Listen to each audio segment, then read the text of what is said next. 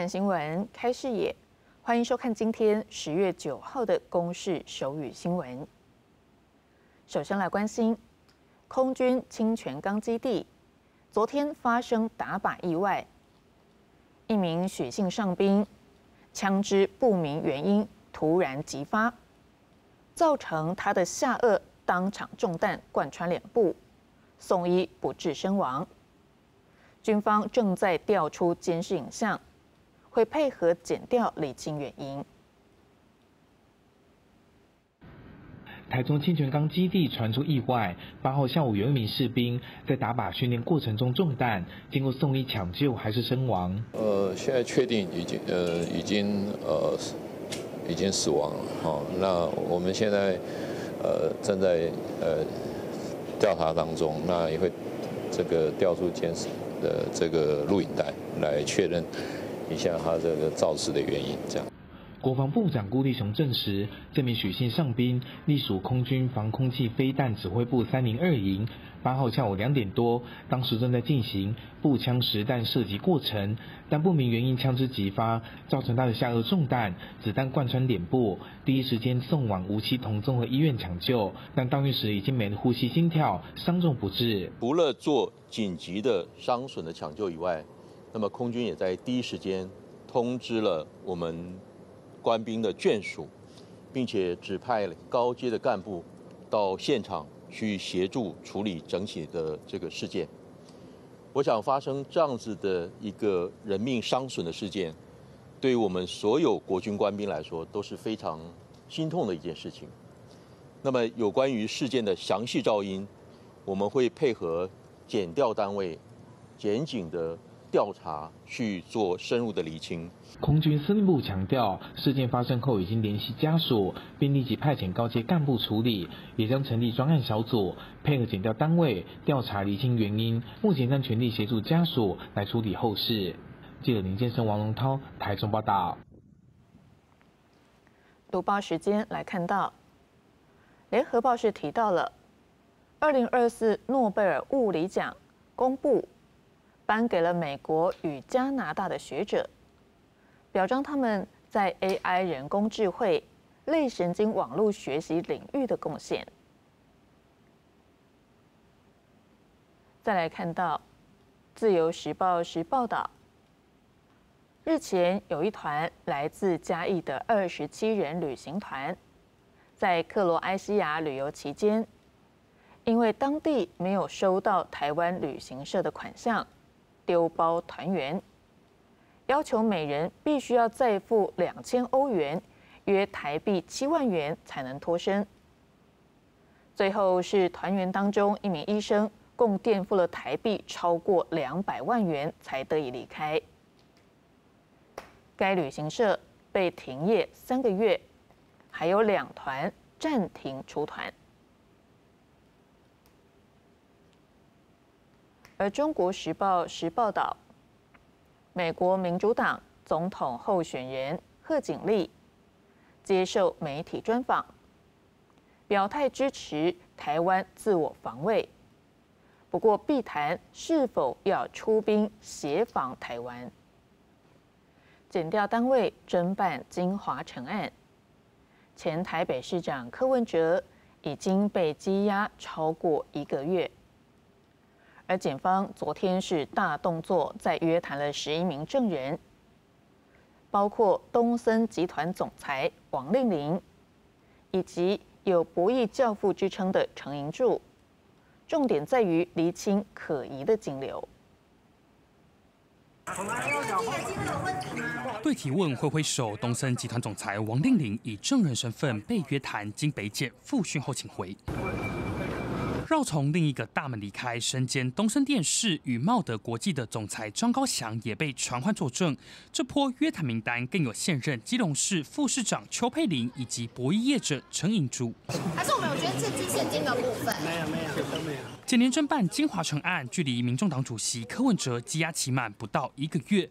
从都委会委员、北市都发局人员、民众党工、微金集团员工，再加上多名被告，已约谈超过五十人。如今调查范围再扩大，从前科办主任李文宗被收押进监后，检方持续追金流，八号大动作传唤十一人以证人身份讯问，现在更爆出又有关键人物。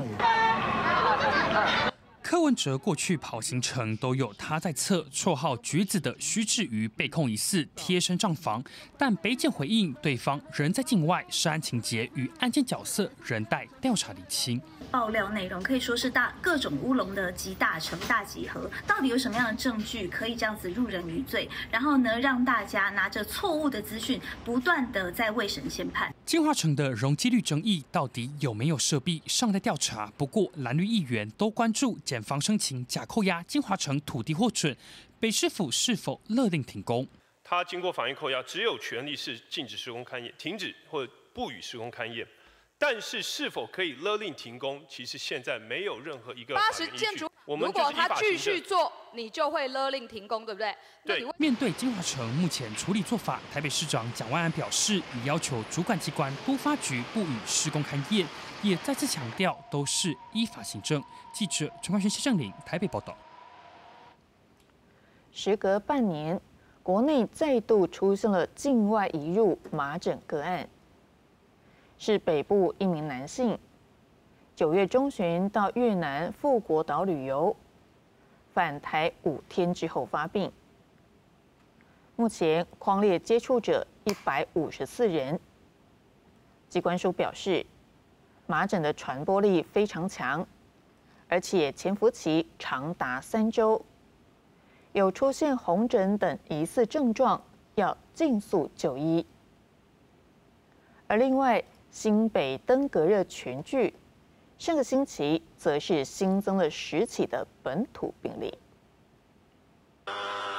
新北登革热疫情持续升温，上周一口气新增十例本土病例，个案分别居住在新北市八例及台北市两例，与先前公布群聚个案属于同一群聚事件，均感染登革热病毒第二型。累计这起群聚案已经有六十七例。机关署表示，本周东北季风带来北部豪大雨，不利于防治工作，请民众一定要主动清刷积水容器，以免滋生病媒蚊。病媒蚊可能因为积水的关系而滋生，哦，也导致这个防治工作的困难哦，所以特别要呼吁民众能够主动配合双北防防疫单位的一些防治工作。另外，出国旅游得要当心，因为时隔半年，国内再度出现有境外移入麻疹个案，是一名北部三十多岁男性，九月中旬到越南富国岛旅游，返台五天后开始发病，直到九月底身体出现红疹，第四度就医才确诊。目前掌握接触者一百五十四人。将监测到十月十七号。机关署提醒，麻疹潜伏期可长达三周，而且传播力非常强。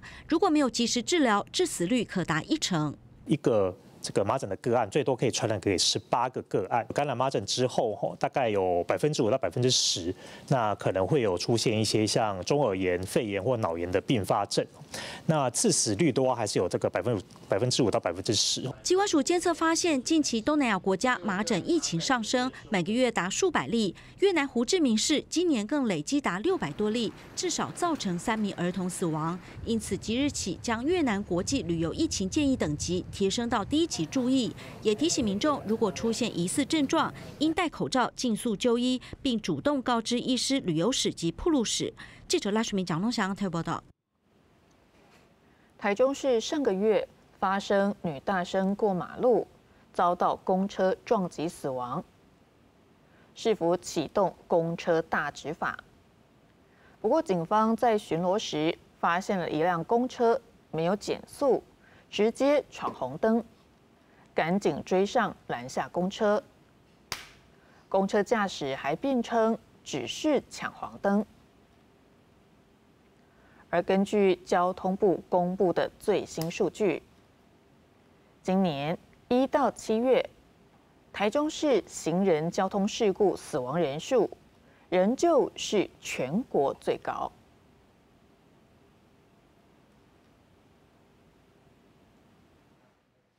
监视器拍下路口车辆因为红灯已经停下，但这辆一五九路公车却没有减速，直接闯红灯。后方正在巡逻的警方目击过程，也赶紧追上拦下公车。我们闯红灯了的话，它有一一秒两秒的时间嘛？不是一秒两秒吗？啊，看你已经亮左转箭头了呢。上月二十九号，在台中市五权西路与大中南路口，违规公车被警方拦下后，驾驶还狡辩只是抢黄灯，还因为担心误点，抱怨远警执法太严苛。采执法与宣导并重，希望透过举例干预手段，修正部分公车驾驶不良。行车习惯。虽然台中市府和警方加强公车和交通大执法，不过根据交通部公布的最新数据，今年一到七月，台中市行人交通事故死亡人数为三十二人，比去年同期增加了六人，全国最高。而整体交通事故死亡人数一百七十五人，虽然比去年同期减少了二十六人，也是全国最高。有安全感一点，对，大家会比较会礼让，直接直接绿灯过马路，如果还是有车会直接闯过去啊。持续精进行人道安作为。并持续透过工程执法宣导，强力执行，以保护行人。台中市交通局表示，将会盘点行人通行量大的地点，透过道路工程以及调整号志、时制等作为，持续加强交通事故热区的改善。警方也表示，从九月到十二月，执行行人正义大执法专案，加强举例汽机车不停让。今年也已经增设二十处的科技执法，并加强导正用路观念。记者林健生、王龙涛台中报道。标榜用蜂蜡包覆糖果的蜡平糖，近来被不少店家引进台湾来贩售，不过成分上也引发质疑。高雄卫生局从上个月中旬起展开稽查，结果发现人武八卦和大社夜市。都有业者卖蜡平糖，而送验之后发现，有些里头是违法添加了甜味剂，依法裁罚，也要求店家下架销毁。来到夜市内销售糖果的摊位，卫生人员将糖果装袋带回检验。上月中旬至今，高雄针对夜市、老街卖场以及实体网购商等店家稽查，发现人武的八卦夜市、大社夜市都有人违规卖蜡平糖。送验后发现，有些蜡平糖违反规定加入不能添加的甜味剂。人武八卦夜市、大社夜市查核，查获业者贩售蜡平糖，蜡平糖检出甜味剂与规定不符。卫生局将依违反食安法裁除，并限改下架销毁。这次稽查两百四十三家，共四家不合格，两家销售蜡平糖，另外两家卖来路不明、未核准进口的中国食品。蜡平糖因色彩丰富，在中国相当流行，不少孩子爱吃。台湾透过购物平台也能买到，取得管道不难。它虽然标榜是蜂蜡加果酱或糖浆制作，但是蜂蜡成本高，是否用心可能遭不孝人士以工业蜡更替，吃多可能有害健康，也担心遭额外添加来路不明的物品。恶心、呕吐，甚至便秘，那长期来吃食用还可能造成肠阻塞。那有人还会对它其其中的添加物呢，比如说色素啦这些等等，造成这个过敏。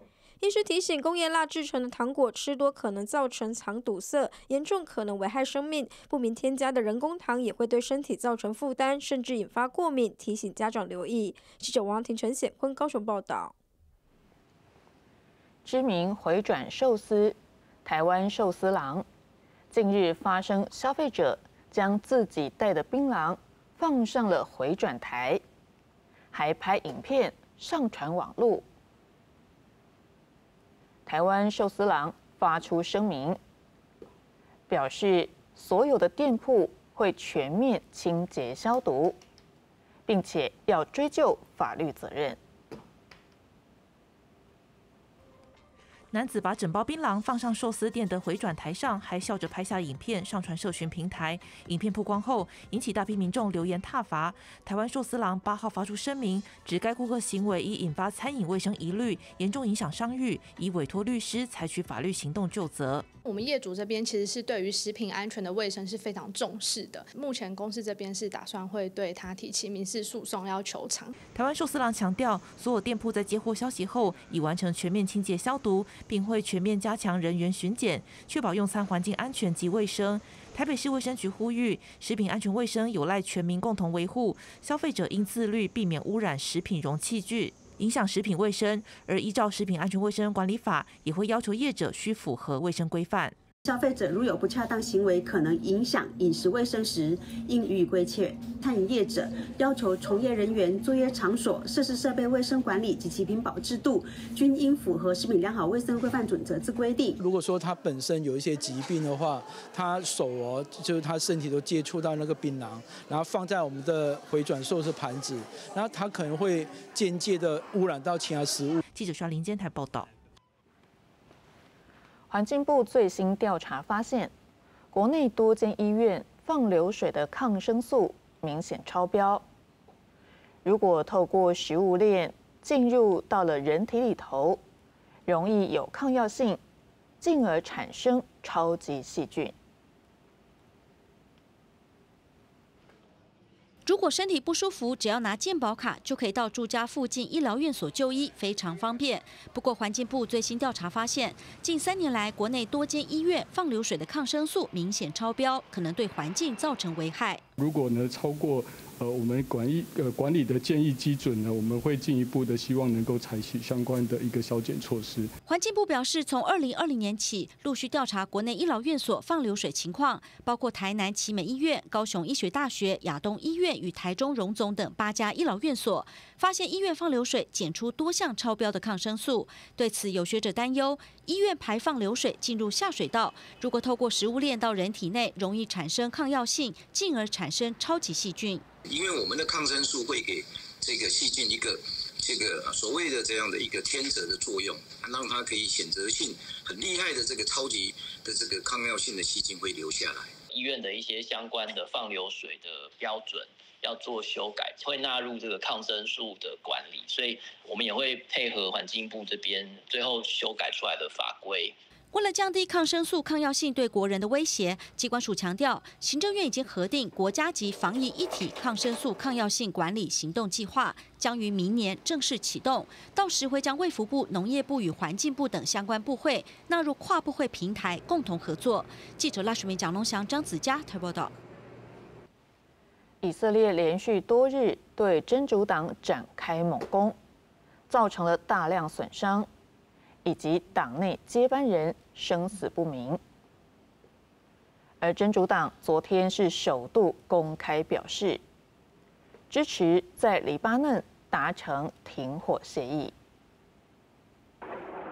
以色列军方八号表示，过去二十四小时对黎巴嫩南部真主党地下设施的猛烈空袭，造成数十名战士死亡，其中包括区域指挥官和区域官员，并已派遣部队进驻黎巴嫩南部，也是部署在边境的第一支后备师，还把针对真主党的地面行动从黎巴嫩东南部延伸到西南部。We took out thousands of terrorists, including Nasrallah himself, and Nasrallah's replacement, and the replacement of his replacement.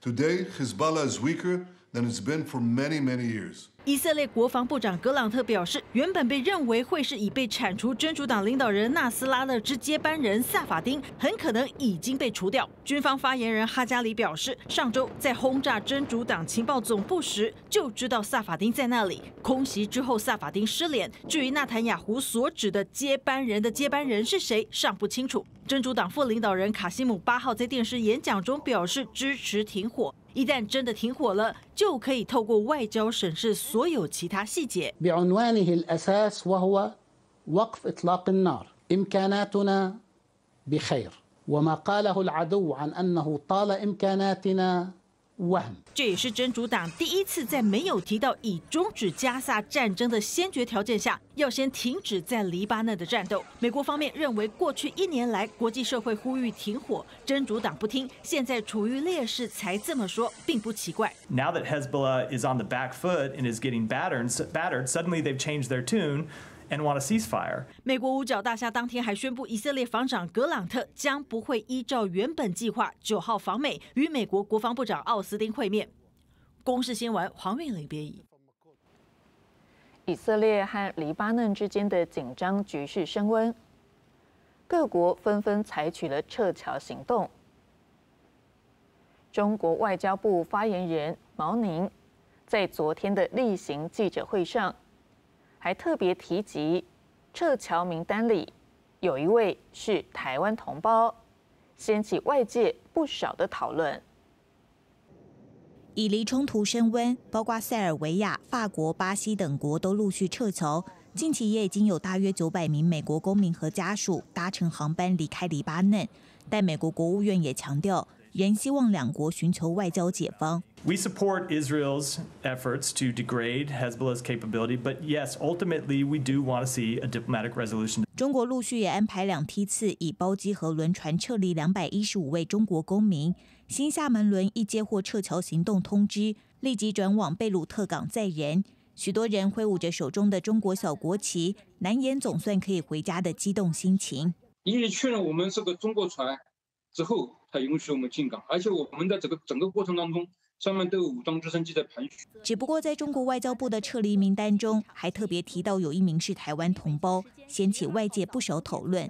共二百一十五位中国公民分别搭乘轮船和包机从黎巴嫩安全撤离，其中包括三位香港居民和一位台湾同胞。一个 identity 一起撤，对，Chinese identity 撤。之前我就知道 motherland，我们 motherland 就是中国。我外交部证实，这名谢姓男子确实是我国国人，但旅居黎巴嫩期间并没有和住处联络，批评中方趁撤侨之时矮化我国家地位。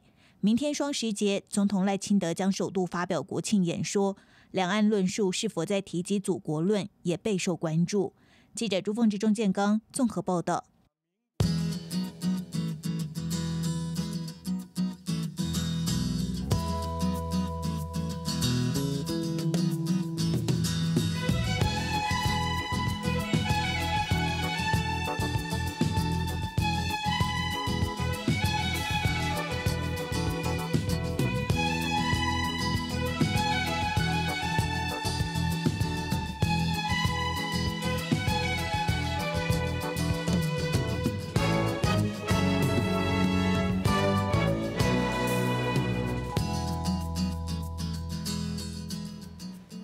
感谢您收看这一节的公视手语新闻，我是王小舒，明天同一时间再会。